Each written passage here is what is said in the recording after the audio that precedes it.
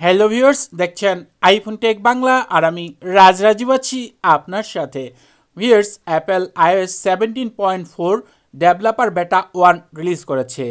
আমরা কম বেশি যারা এই বিষয়টা জানি যে একটা আইওএস অফিসিয়ালভাবে রিলিজ করার আগে অ্যাপেল সেই ভার্সনটার চার থেকে পাঁচটা বেটা ভার্সন রিলিজ করে এবং বেটা ভার্সন রিলিজ করার পর সেটা যখন স্টেবল হয়, তখন সেটা অফিসিয়ালি রিলিজ করে।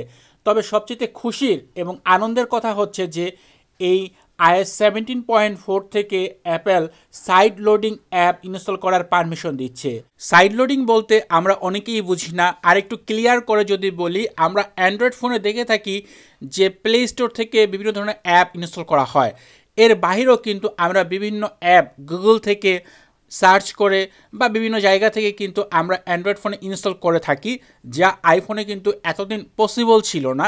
But iOS seventeen point four থেকে আপনি চাইলে অ্যাপ স্টোর বাদে অন্যান্য যে সকল অ্যাপ স্টোর রয়েছে, বিভিন্ন ধরেন আপনার প্লে স্টোর টাইপের অ্যামাজন স্টোর এই টাইপের যে স্টোরগুলো রয়েছে, সেই ক্ষেত্রে সেই সব স্টোর থেকে আপনি আইফোনের জন্য অ্যাপ ইনস্টল করতে পারবেন।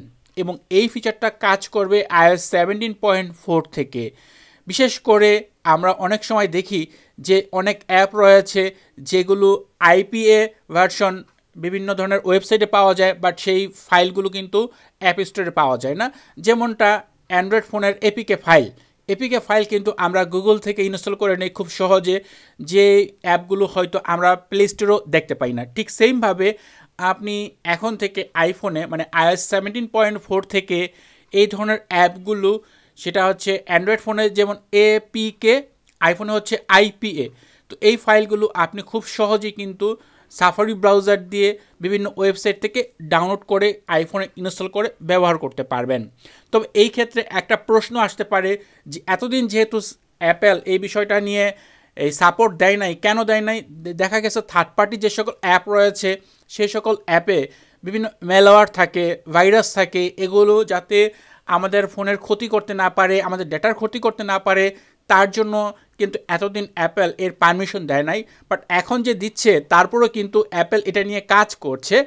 আপনি যখন থার্ড পার্টি বিভিন্ন অ্যাপ ইনস্টল করবেন, সেই অ্যাপে যদি মেলাওয়ার থাকে, সেই অ্যাপে যদি ভাইরাস থাকে, সেই ক্ষেত্রে আপনি যখন ইনস্টল করবেন, তখনই কিন্তু অ্যাপেল আপনাকে জানাবে। এটা অটোমেটিকলি ভেরিফাই হবে। অ্যাপেল আইওএস সেভেন্টিন পয়েন্ট ফোরে এরকম কোনো সিস্টেম অ্যাড করতে যাচ্ছে যাতে করে আপনি অ্যাপ ইনস্টল করার আগে সেই অ্যাপটি অ্যাপেল ভেরিফাই করতে পারে যে সেই অ্যাপের ভিতরে কোনো প্রবলেম রয়েছে কি না কোনো ম্যালোয়ার রয়েছে কি না যাতে করে আপনার ডিভাইসের বা আপনার ওপর কোনো এফেক্ট পড়তে পারে। তো এরকমভাবে যখন আপনি সেই অ্যাপের পারমিশন পেয়ে যাবেন যে না, এই অ্যাপটি বেশ ভালো, এই অ্যাপে কোনো ম্যালোয়ার নেই, কোনো ভাইরাস নেই, তখনই আপনি সেই অ্যাপটি ইনস্টল করতে পারেন। কারণ আমরা অ্যান্ড্রয়েড ফোনে দেখে থাকি যে কোনো অ্যাপ ইনস্টল করা যায়, সেই অ্যাপে বিভিন্ন ধরনের সমস্যা থাকলেও কিন্তু সেটা ইনস্টল করা যায়। বাট আইফোনে আপনি এটা পাবেন না। যেহেতু অ্যাপেল যখন একটা স্টেপ নেয়, তখন বেশ বুঝে শুনে এবং সবসময় অ্যাপেল তাদের গ্রাহকের সিকিউরিটির কথা চিন্তা করে, তখনই সেই কাজটা করে। আর এজন্যই হয়তো বা অ্যাপেল এতদিন পর আমাদের জন্য এই সুবিধাটা নিয়ে আসতেছে। তবে এত খুশির সংবাদের ভিতরে একটা দুঃখের সংবাদ হচ্ছে এই সুবিধাটা আপাতত শুধুমাত্র ইউরোপিয়ান ইউনিয়নের জন্য প্রযোজ্য হচ্ছে। এর আগে আমরা দেখেছিলাম যে অ্যাপেল ইউরোপিয়ান ইউনিয়নের কেস করার কারণে আইফোনের সকল মডেলে, লেটেস্ট সকল মডেলে কিন্তু টাইপ সি পোর্ট দিতে বাধ্য হয়েছে। হয়তো বা সামনে আমরা এরকমটাও দেখতে পাবো যে আপাতত যেহেতু এই ফিচারটা ইউরোপিয়ান ইউনিয়নের জন্য প্রযোজ্য হচ্ছে, হয়তো নেক্সট এটা ওয়ার্ল্ড ওয়াইডও দেখা যাবে। তো আপনার অনুভূতি কি? এটা কি আপনি দেখতে চান নাকি চান না? বা এই ফিচারটা যদি আইফোনে ব্যবহার করা হয়, সেই ক্ষেত্রে আইফোনের সিকিউরিটির কোনো প্রবলেম হবে কি হবে না? এই বিষয়টা নিয়ে কমেন্টে আপনার অন্য আপনার মতামত শেয়ার করতে পারেন। আশা করি ভিডিওটি আপনাদের ভালো লাগবে। ভিডিওটি ভালো লাগলে ভিডিওতে লাইক দিবেন কমেন্ট করবেন। চ্যানেলটি সাবস্ক্রাইব না করা থাকলে নিয়মিত আইফোন রিলেটেড ভিডিও দেখার জন্য চ্যানেলটি সাবস্ক্রাইব করে নেবেন। কথা হবে পরের ভিডিওতে সে পর্যন্ত ভালো থাকুন, সুস্থ থাকুন। আল্লাহ হাফেজ।